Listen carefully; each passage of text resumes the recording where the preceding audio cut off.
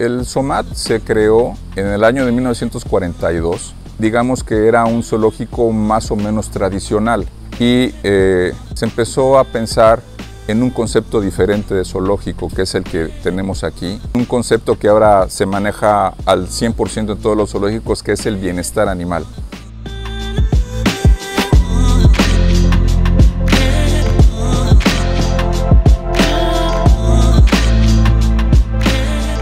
Empezó a construir el zoológico eh, alrededor de 1980. Eh, al concluirse, se hizo el traslado de los animales a, esta reserva y el zoológico actualmente tiene 111 hectáreas. En, en, estas se distribuyen todos los hábitats, porque realmente son, no es una jaula, es un hábitat para la mayoría de los animales que tenemos en exhibición. En promedio son 180 animales que están en, exhibición.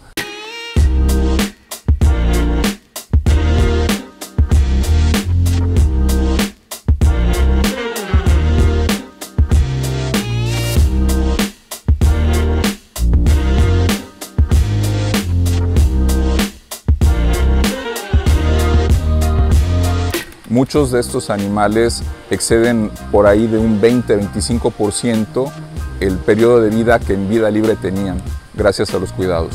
Cuando ustedes vengan, si tienen la oportunidad y el tiempo de hacer un recorrido guiado, háganlo.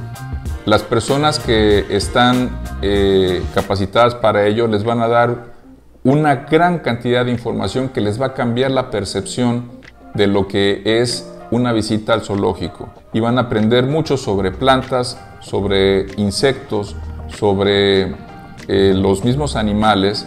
Es, es una, una experiencia diferente.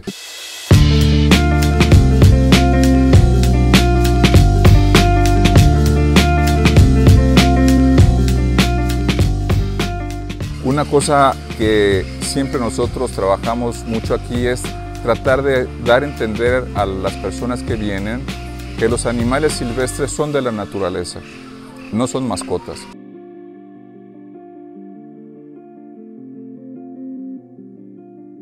Cuando hay algún animal que está en libertad, que sale de su medio y se mete a la zona urbana, inmediatamente llaman al zoológico. Hay veces que la gente se pone un, poquito insistente en que tenemos la obligación de recibirlo porque somos el zoológico.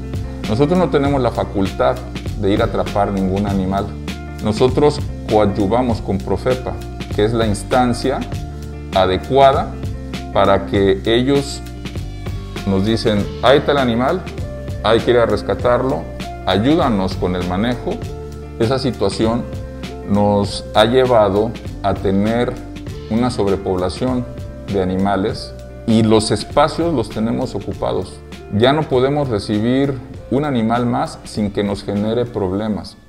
Llegan visitantes de otros lugares de la República y ven, a veces ya ni se preocupan en estar buscando los animales, quedan maravillados del lugar, de ver toda esta vegetación, de sentir el cambio, de estar, venir acalorados y de que cuando entran aquí el cambio de la, frescura que generan los árboles, el ver a los monos aulladores y escuchar sus rugidos, el encontrar a los animales libres, el hacer, asomarse a un recinto y ver que el animal está en un medio muy agradable para él.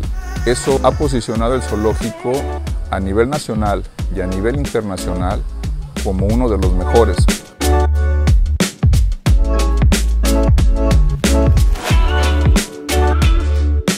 Lo que pueden disfrutar es un momento de paz inigualable. Respirar aire puro, escuchar la naturaleza y sentirse parte de. Este es un zoológico que se ha tratado de replicar en otros sitios porque aquí se empezó a ver más que una exhibición. Es un, sitio en donde, aparte de educación ambiental, aparte de generar bienestar animal, aparte de ser un, ejemplo de cómo generar una representación de la fauna local. Esto debería ser el mayor motivo de orgullo del, del Tuxtleco. Gracias por tu visita. Dale like, comenta y suscríbete.